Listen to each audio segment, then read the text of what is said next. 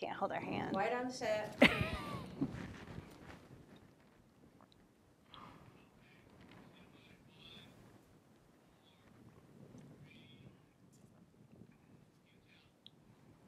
Hello, I'm Laura Kelley, coming to you from LCTV Cape Cod.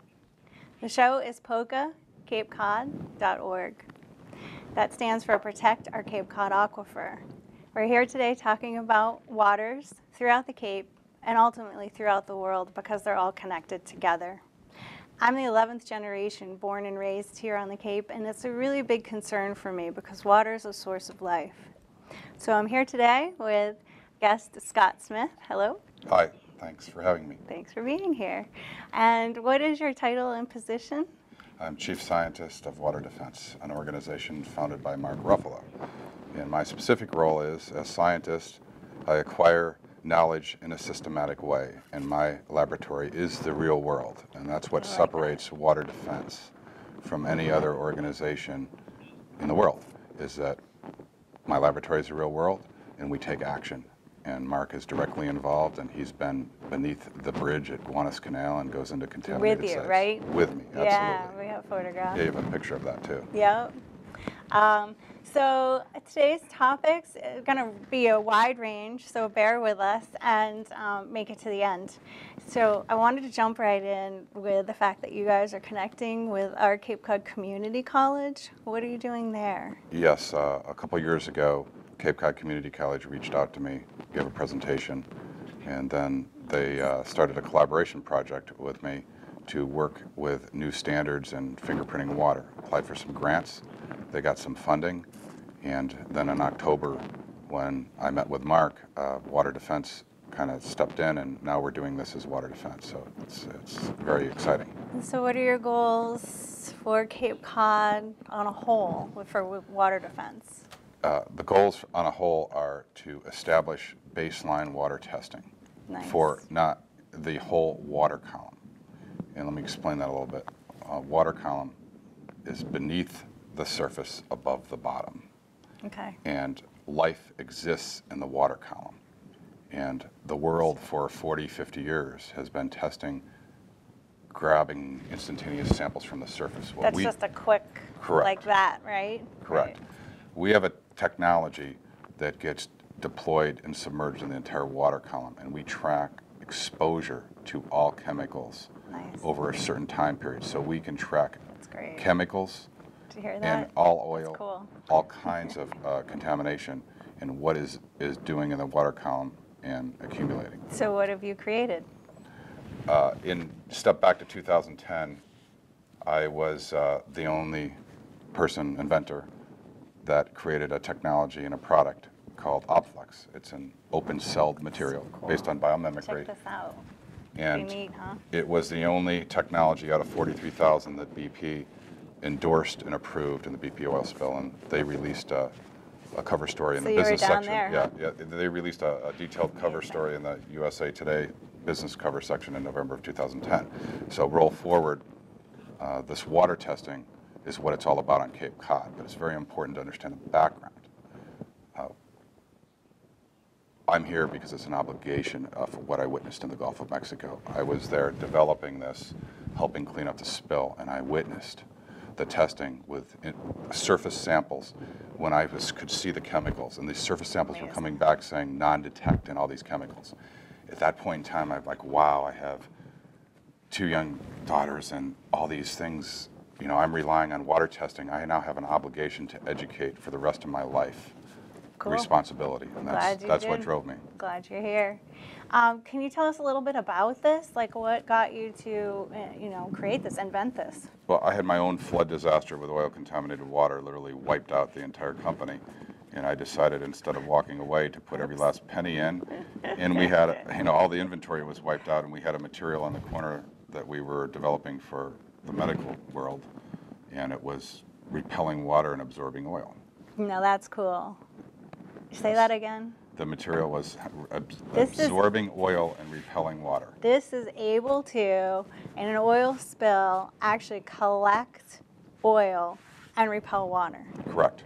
So this is called Opflex. Opflex, and you created it um, thinking of bees. Is that right? No, biomimicry of the human lungs. I The just learned about bees recently. And basically, it's all about surface area. And, at the, and, and it's, uh, it's a very important thing to understand. The polymer I chose, ethylene methyl methylacrylate, and that's as technical as I'm going to get today. That polymer, ethylene methyl methylacrylate, is what is used in IV bags, injection needles to save lives every day. Wow. So as long as we have hospitals and people's in need, people are going to be doing, uh, using that. So it's safe, and then it just Great. turns out that it attracts oil and chemicals like a magnet and repels water. That's cool. And this product you can use over and over again?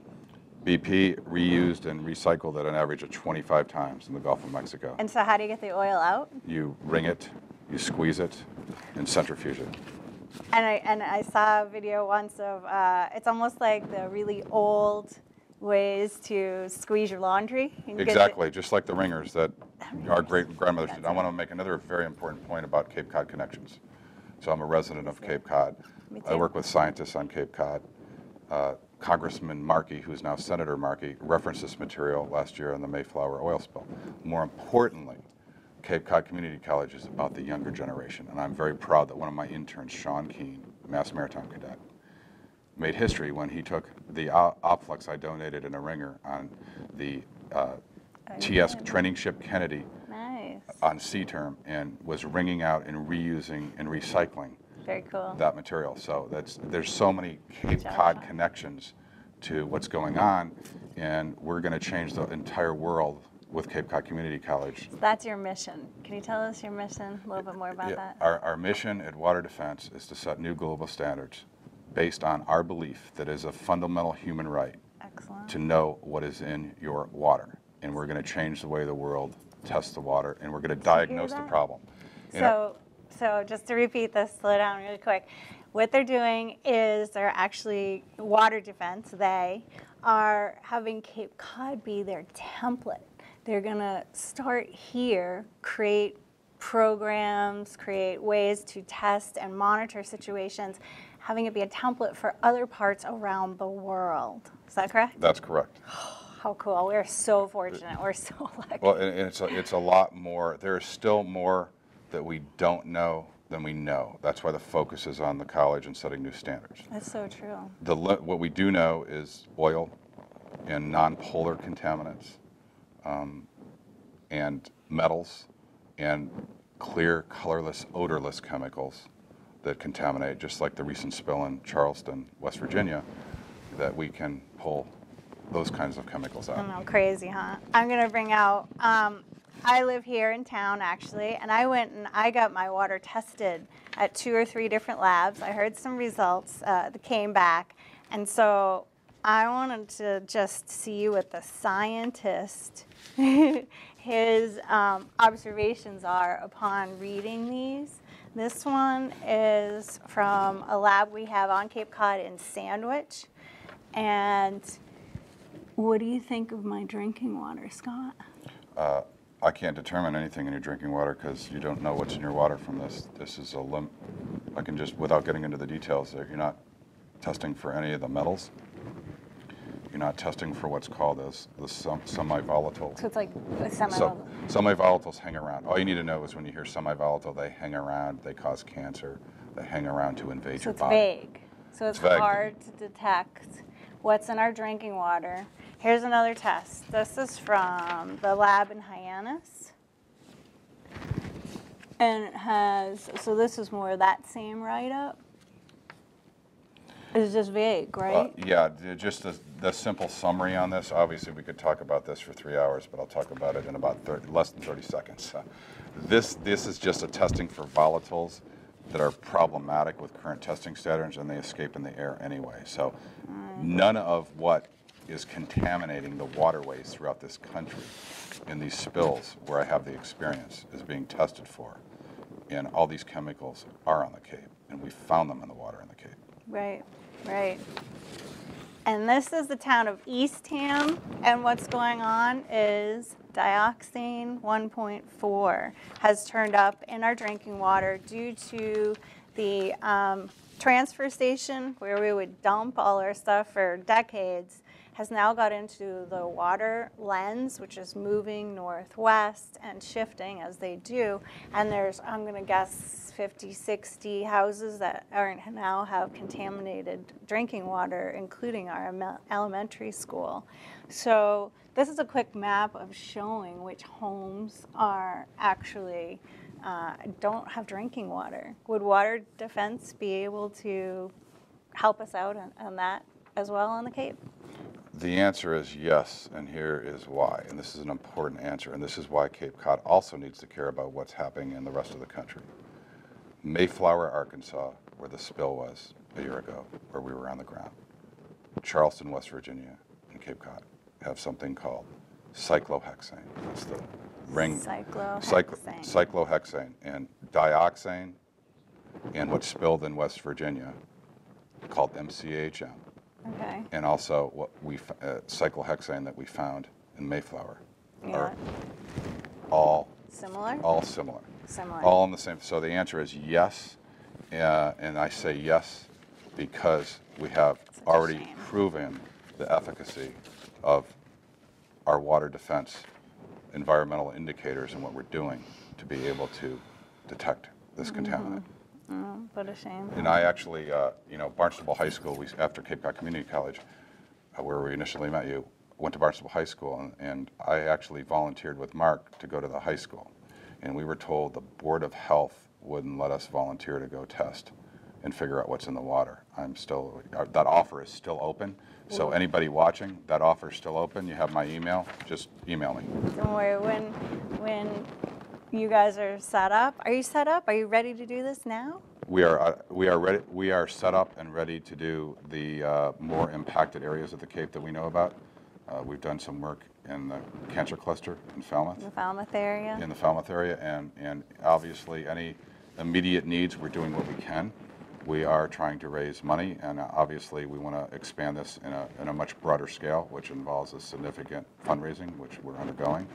But right now, we're focused on um, impact areas where people are suffering. And obviously, people that have cancer and anything to do with children, uh, we need to move on. God, I can't believe this is like you guys are incredible. I, I'm so excited. We're we're honored to have water defense here on Cape Cod. Um, you know, I haven't even heard of anybody testing for any of this stuff. And I think most people in the area, anyway, locally, know that I've been doing what I can to um, prevent and I'm going to say even lessen the amounts of herbicides used on the Cape, um, fertilizers, uh, nitrogen and phosphorus being the big ones that get out into our, you know, streams and rivers and into our bays. So I'm, you know, doing what I can to work with local Cape Cod commissions and the actual um, selectmen here in town to lessen the amounts of these things. And yet, in the meantime, they're still allowed on our shelves. So there's a huge uh, room for education. Would water defense be able to help with that, uh, educating residents and businesses locally that they too are impacting drinking water? Yes, we, I spend a lot of time speaking, as does Mark, doing presentations in education. Education is the key in arming all people to kn- know what's in their water. And I, I want to make a very important point here. Uh, for those people watching, this is, uh, I've never been more positive with the reception we've received with the younger generation. The kids get it. They are the solution, and, and they ask pollution. so many incredible questions. And we are not here to, to panic at anybody at all because we're here to bring people together. Because if you can't solve a problem unless you diagnose it, and what we're doing at Water Defense, we're going to diagnose the problem. Once we know the full gamut and what's really in the water and the contamination, then we can come, I can tailor a solution for each case. So what about herbicides, let's say? Can you explain? Well, yeah, I want to, I want to give you an going on over example. Um, well, first of all, this jar is Bakken crude oil that was black, and we're, you know, this, just illustrates the water column and how we go penetrate the entire water column, and you Mm-hmm. can see the open cell material discolored to absorb the oil. And there's also clear chemicals that, that's why you need to go to the test. So I went to uh, a first meeting at, uh, at your house, and um, learned that glyphosate or Roundup is heavier than water. So this is about a month ago, and we put it in the water with the Opflex, and you can see, you can see the, the, the Opflex is absorbing it. But the interesting thing is here, there's floating, there's abs, there's floating, there's floating things in here like coagulating and moving up the water column. If you see in here, look at that. See these, something, can tell, something, it's those something is little co- white things. coagulating in here and floating in the water column. And see, see how this, I, I think that is a glyphosate reaction. And that is the water, this is why, see if you were taking a surface water sample right now, you wouldn't pick up what is floating in the water column. So I'm illustrating the About a importance. month old, right? Yeah, I'm illustrating the importance of going through the whole water column and seeing what you absorb. Now, I can see stuff accumulating on the Opflex, but we can now have this analyzed. What is a scientist's point of view? What is coagulating Roundup in the Well, environment? First of all, we don't know what's coagulating. We don't know what the regulant. we haven't but tested, but If, if, loosely. we, we have to pull some of what's coagulating, and the, the good news is, is we can figure out it exactly, exactly what it is and what, what The reactions good are going news is, stay tuned, folks. okay, that's great. Now, what about um, we have a power plant in the Plymouth area that also is leaking. We don't know what, but we would love to know. Would Water Defense be able to help out with that? Uh, We're looking into that right now. We're running some experiments Oh, in a lab in Colorado Really? um, to see how we can detect and possibly remove. oh, so like a baseline. Correct. Ah, I see. So you have to do that first. Radiation is, pr- radiation, if you simplify it, it's just metals that, metals that are not stable and break down. Okay. And what I was told by the Wow. experts in radiation is that with our proven ability from the real world laboratories, that from, you know, Knapp Creek, Pennsylvania, all the way to Gowanus Canal, we, if we detect arsenic and other metals and remove them, which we do, that we should perform the same way with radiation. But we don't know for certain until we get the control samples done, and we're working on that. Now, there's a lot of outfall pipes in towns. I've made a couple phone calls to a couple of towns to see how many outfall pipes there are. What is an outfall pipe? An outfall pipe has to do with water runoff to septic runoff. To, we're not going to get into all those details, but really briefly, um, would you be able to help testing with the with that as well? Yeah, we've done a lot of testing in, in New York on outfall pipes. That's, that's easy to do. And we have uh, Air Force bases, and we have an airport that's leaking in Martha's Vineyard.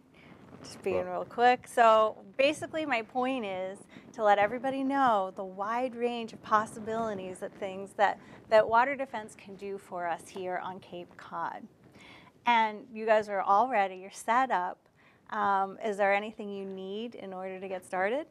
Well, this task is so big and world-changing, and even starting with Cape Cod, that raising funds is the critical. Funding, that's it, yes. It's, it's all about the funding so that we can scale this up.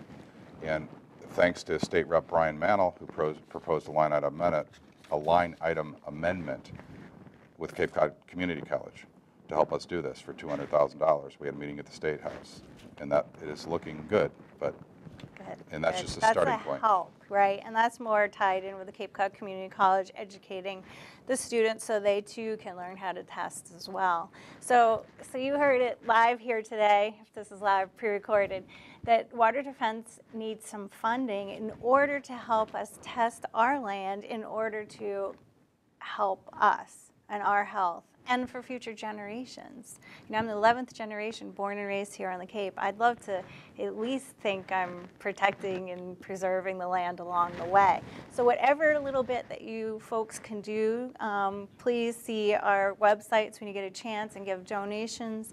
And it'll be really helpful, uh, even if it's just a little bit, because then collectively on a whole, that makes all the difference.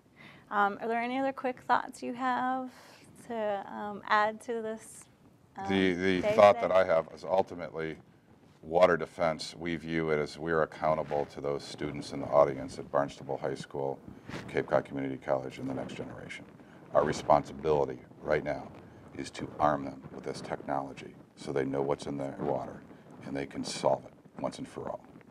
I know you guys gave me hope. I met them at Cape Cod Community College. They gave a presentation, and I left there feeling hopeful, which wasn't something I have felt since or yet. You know, I mean, it's just amazing to go to all these meetings with the commissions and the senators and the selectmen to try to figure out what to do. And you guys had answers. You guys were, yep, we're here. We want to do this now. It, they just need funding. They need our help to to do this. So hopefully, we'll spread the word, get the word out. Um, and get the messages going that you know there's so many things that are connected to water. Water is a source of life. You know everything we eat is connected to water. You know our oysters and around the world all the streams and stuff. Like that's just amazing to me to think about Yeah, we provided uh, a picture of a map that shows the Missouri River where all the Bakken oil, and I, I want to, Cape Cod needs to understand that every spill you read about that's thousands of miles away ends up in what's called the Gulf Stream that flows from the Gulf of Mexico in seven to 10 days via the Mississippi River to the Gulf of Mexico. yeah and that's And we're all connected, so, all connected so that's one way of looking at veins right correct. And then this was your lungs, right? That stimulated you to create this through the human lung. So you're really bringing like, I don't know, different elements together. And it's almost like working with nature, for nature, by nature, ultimately. And you're a scientist. That's so cool. Yeah. Well, Who knew? I- Again, I acquire knowledge in a systematic way, and my laboratory is the real world with real disasters. That's why I'm a scientist. And uh, I was kind of thrown into this through my own flood oil disaster in the Gulf of Mexico. And then I just felt a very, very uh, Connection. big responsibility to educate after what I learned in the Gulf of Mexico and BP. And it affects all living creatures, you know? I mean, we have the bees that are dying, as we know, worldwide at mass amounts, you know? And we've got to think about protecting and beyond protecting, actually preserving. You know, there's, I think those two words really have different definitions. And the way I feel is, is you guys have the ability to not just protect, but to preserve. Like that's that to me is huge. It's priceless. It becomes priceless. I can't put a number on that. I need to make a very important point, and I'm always learning. And I did not know about Albert Einstein's quote until recently about Which one's yes, if the bees disappear, humans disappear in four years. Four years. And this is a very important point. I want to launch a study specifically in North Dakota and some other places about where the hives and the bees are disappearing and test the water. Because what I've really, re- Mother Nature's environmental indicator before I was around or invented this was the bees. That's if right. the bees and the hives are disappearing, Mother Nature is telling us that the environment is indicating to us that something They're is the not canaries in the coal mine. Exactly. What I say. Yeah. Yeah. And they're definitely showing signs. Like if we could look at other things in nature, the um, uh, frogs are like asexual and the bats are dying in massive amounts. And the latest thing, I'm sure you've all heard in the news, is is um, the butterflies. Butterflies, uh, the monarchs. I can't even believe. Uh, last year they weren't around. The year before they were. It was like that quick. So again, environmental indicators telling us what's going on. Are we listening? Are we impacting? Are we changing our lives at all? I think every single day your dollar is your vote, and you can definitely change and actually help the environment just a little bit. And guess what? A little bit here and a little bit there times a large amount will make an impact. So we could do a little bit more every single day, a little bit more, a little more. And before you know it, the individual is actually changing the world on a whole. So that's the way I look at it. You know, instead of thinking about, oh my gosh, what's going on around the world? It's so big and it's too big for me to even fathom. I can't. It's it, you know, just do what you can do and know wherever your dollar is going matters in nature. And think about who you know you're building. Where are you going to locals or are you going to corporations? You know, and again, add your funding to um, places that, that are helpful, that create sustainable systems. I want to add one other point to that, that one gallon of oil contaminates a million gallons of water. oh my gosh, That's say one- that again? One gallon of oil contaminates a million gallons of water.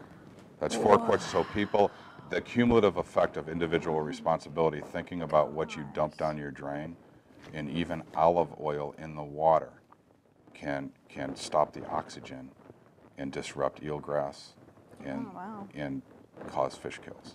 Oh my goodness.